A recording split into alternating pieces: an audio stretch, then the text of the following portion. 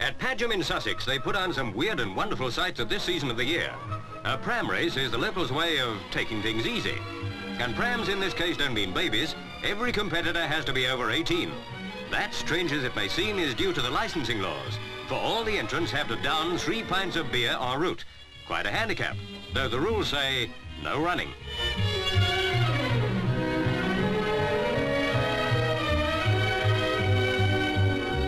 Thirsty work, this racing business, and there's quite a lot of the two-mile course ahead of them yet. This gallant pair look well in their stride. They're already leading the field.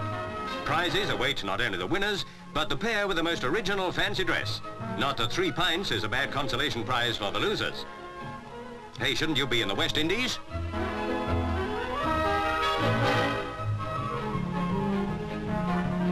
On they go for the last stage. Next up, the Lamb. And yes, it's those men again, Messrs. Edwards and Thorne, steering their way home to become Pagham's beer and pram champions of the year.